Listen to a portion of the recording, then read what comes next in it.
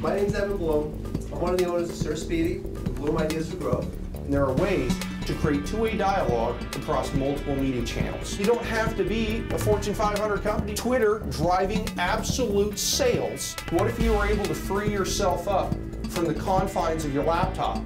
Don't think about one media type to grow your business. So here's a question for you. And here's a test. I happen to know the guys that run uh, the e-commerce business for ProFlowers. Everybody familiar with ProFlowers? Pretty big organization. Well, they're very uh, active in email, search engine marketing, direct mail, and other mediums.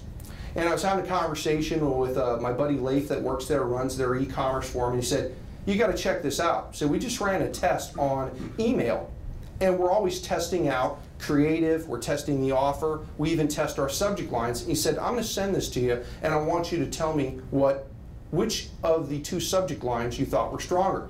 So I'll ask this crowd the same question. ProFlowers was doing a promotion for a dozen red roses for Valentine's Day. There were two subject lines in the email. Which of the two subject lines would you think garners the higher response? Subject line A, last chance to order valent for Valentine's is this Wednesday, order now. Subject line B, only 48 hours to order for guaranteed Valentine's Day delivery. How many people think that subject line A garnered the higher response? Okay, a few hands.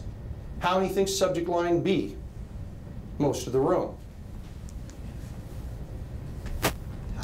The most powerful words in email, order now.